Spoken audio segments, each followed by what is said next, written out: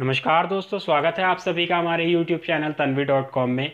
दोस्तों, आज के वीडियो में आप लोगों को बताने वाला हूँ हॉर्मोन्स क्या होते हैं, किस तरीके से काम करते हैं और अगर हॉर्मोन्स इम्बैलेंस हो जाएँ तो हम उन्हें किस तरीके से बैलेंस कर सकते हैं?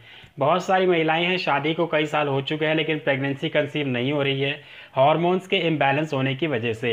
यहाँ तक कि हस्बैंड की रिपोर्ट भी ख़राब हो रही है हार्मोन्स के इम्बैलेंस होने की वजह से।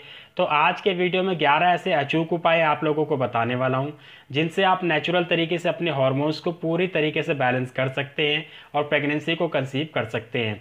आगे बढ़ने से पहले आप लोगों से रिक्वेस्ट है वीडियो अगर आप लोगों को ज़रा सा भी अच्छा लगता है तो उसको लाइक कीजिए। और लाइक करने के साथ साथ इसे फेसबुक पर व्हाट्सएप पे शेयर भी कीजिए। क्योंकि दोस्तों, ये हार्मोन्स की प्रॉब्लम हर दस में से नौ लोगों को है। तो मैं चाहता हूँ कि ज़्यादा से ज़्यादा लोगों तक वीडियो पहुँचे, उनको भी जानकारी मिले, फ़ायदा मिले। लाइक करना शेयर करना बिल्कुल फ्री होता है, इसमें आपके कोई पैसे नहीं लगते हैं। तो चलिए शुरू करते हैं। सबसे पहले दोस्तों, आप लोगों को ये पता होना बहुत ज़्यादा ज़रूरी है कि हार्मोन्स क्या होते हैं, किस तरीके से काम करते हैं। दोस्तों, हमारी बॉडी में जो हार्मोन्स होते हैं, ये केमिकल मैसेंजर का काम करते हैं और जो हमारा माइंड होता है, ये सिग्नल देता है हमारे बॉडी पार्ट्स को काम करने के लिए। और जितने भी हमारे बॉडी में पार्ट्स हैं, चाहे वो अंदर हो, चाहे वो बाहर हो, ये सारे बॉडी पार्ट्स माइंड के सिग्नल से ही काम करते हैं। अगर हमारा दिमाग उनको सिग्नल नहीं देगा तो वो काम नहीं करेंगे। तो जो दिमाग सिग्नल देता है, उस सिग्नल को उस बॉडी पार्ट तक पहुँचाने का काम ये हॉर्मोन्स करते हैं। और एग्ज़ाम्पल के तौर पर मान लीजिए एक जो बिजली का बल्ब होता है और जो बिजली का स्विच होता है, इन दोनों को जोड़ने के लिए बीच में हम जो तार लगाते हैं, उस तार से जो है बिजली बल्ब तक पहुँचती है बल्ब जलता है। सेम इसी तरीके से हमारे माइंड और हमारे बॉडी पार्ट्स के बीच में जो तार होती है, उस तार को हॉर्मोन्स कहा जाता है। और इसी हार्मोन से ही माइंड का सिग्नल उस बॉडी पार्ट तक जाता है। और बॉडी पार्ट्स काम करते हैं। अगर ये जो तार है, हिल जाए या टूट जाए या ख़राब हो जाए तो वो बॉडी पार्ट्स काम करना बंद कर देता है, जिसकी वजह से शरीर में बहुत सारी परेशानियाँ आनी शुरू हो जाती है।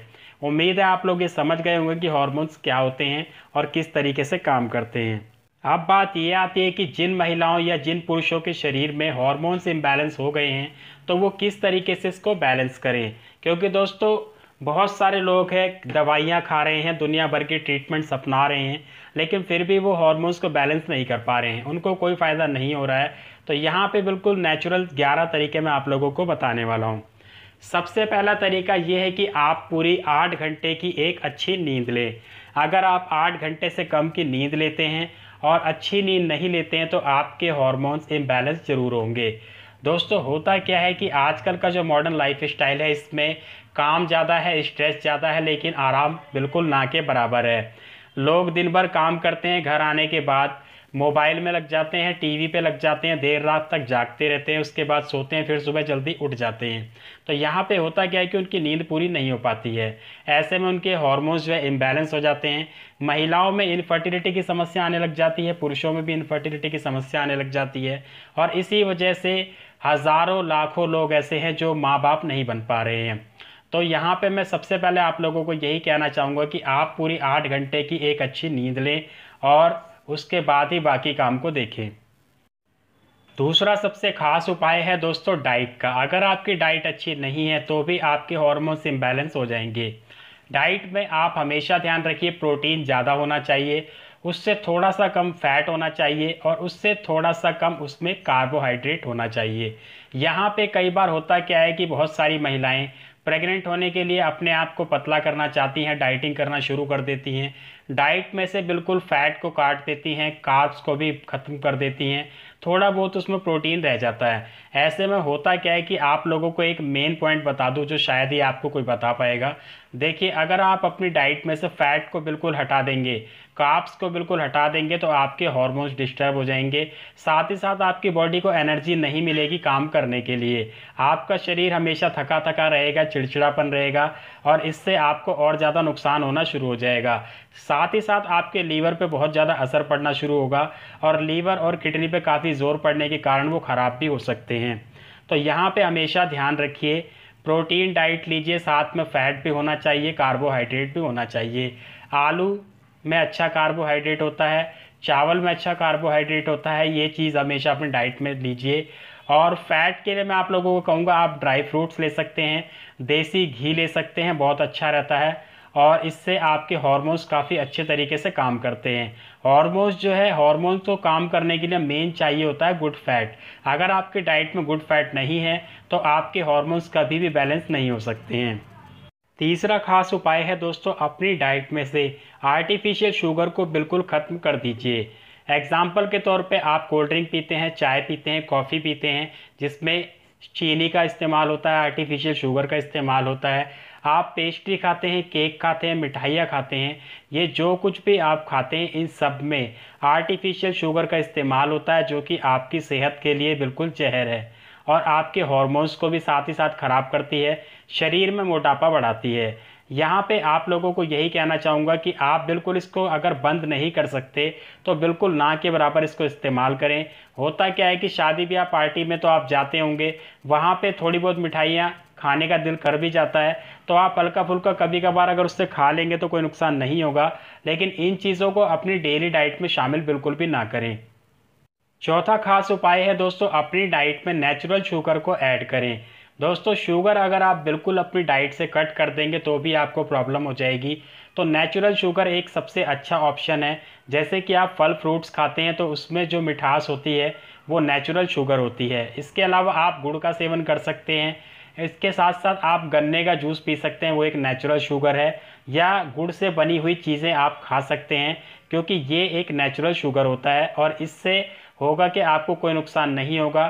साथ ही साथ आपकी बॉडी में जो है फैट भी कंट्रोल में रहेगा, और आपके हॉर्मोन्स को बैलेंस करने में भी काफ़ी ज़्यादा ही मदद करता है। पांचवा खास उपाय है दोस्तों स्ट्रेस को बिल्कुल ख़त्म करें।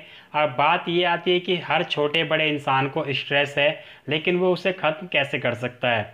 दोस्तों, यहाँ पे स्ट्रेस ख़त्म करने के लिए मैं आप लोगों को कुछ एक चीज़ बताऊँ।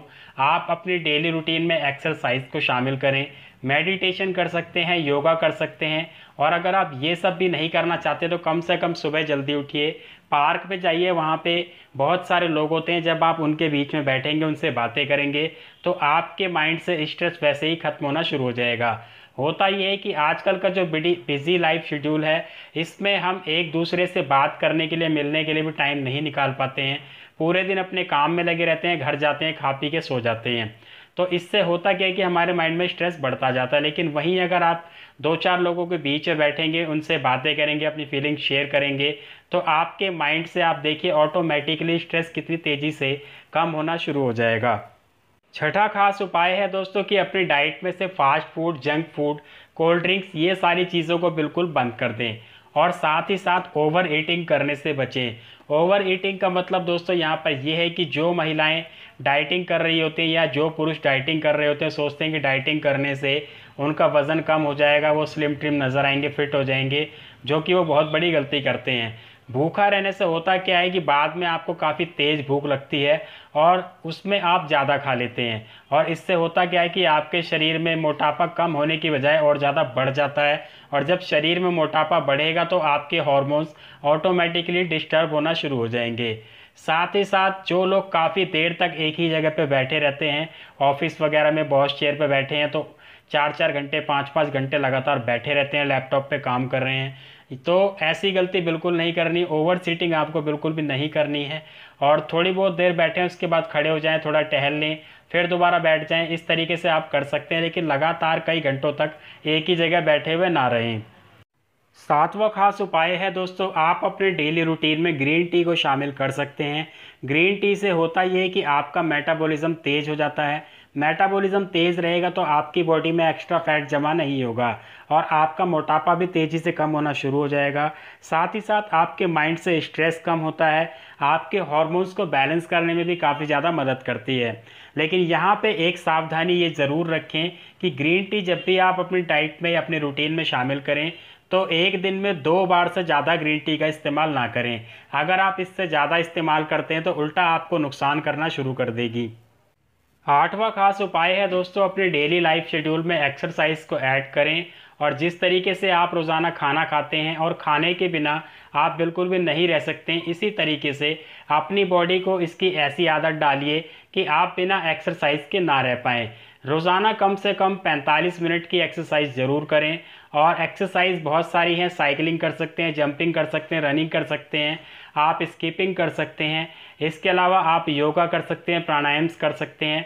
लेकिन कुछ ना कुछ ज़रूर करिए और रोज़ाना मॉर्निंग में 45 मिनट अपने आप के लिए ज़रूर निकालिए। और इससे होगा क्या कि जब आप इसको करेंगे तो एक महीने में ही आपको ऐसा असर दिखेगा कि आप हैरान हो जाएँगे।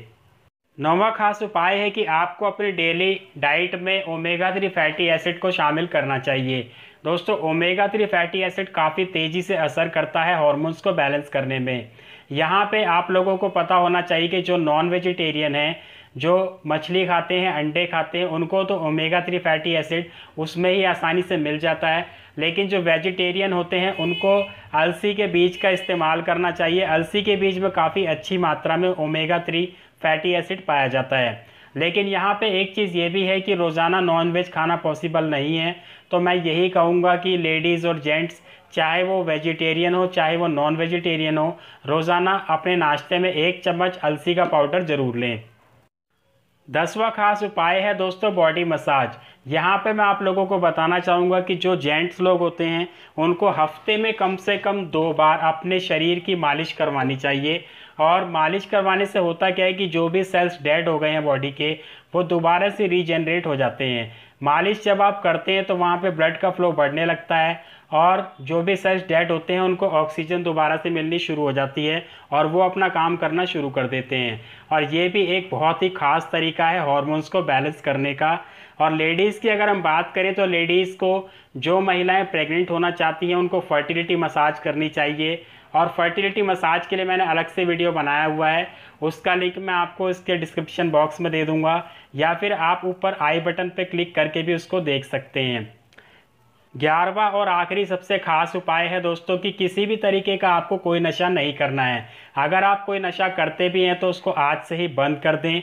चाहे वो लेडीज़ हो या जेंट्स आजकल के बिज़ी लाइफ शेड्यूल की वजह से स्ट्रेस बढ़ता है और स्ट्रेस बढ़ने की वजह से स्मोकिंग, ड्रिंकिंग करना ये एक आम बात हो गई है, लेकिन आप लोगों को मैं यहाँ बताना चाहूँगा कि महिला हो या पुरुष, बिल्कुल भी उनको कोई नशा नहीं करना है, अगर वो चाहते हैं कि उनके हॉर्मोन्स पूरी तरीके से बैलेंस हो जाएँ। और यहाँ पे एक बात ये भी कहूँगा कि जिन लोगों को रोज़ाना की आदत हो गई है, वो इसको कभी कभार के लिए बना लें ओकेशनली कर लें। और कभी कभार अगर आप इसको यूज़ करेंगे तो आपको कोई प्रॉब्लम नहीं आएगी। लेकिन अगर आप इसको रोज़ाना की हैबिट बनाएँगे तो आपके हॉर्मोन्स कभी भी बैलेंस नहीं हो सकते, चाहे आप कितने भी उपाय आजमा लें चाहे आप कुछ भी कर लें। तो दोस्तों, आज के वीडियो में मैंने आप लोगों को बताए 11 ऐसे अचूक उपाय जिनसे आप अपने इम्बैलेंस हॉर्मोन्स को बिल्कुल आसानी से बैलेंस कर सकते हैं। उम्मीद है दोस्तों, आप लोगों को वीडियो अच्छा लगा होगा। वीडियो को लाइक कर दीजिए, इसे ज़्यादा से ज़्यादा शेयर कीजिए फेसबुक पर व्हाट्सअप पर और मिलते हैं अगले वीडियो में। धन्यवाद।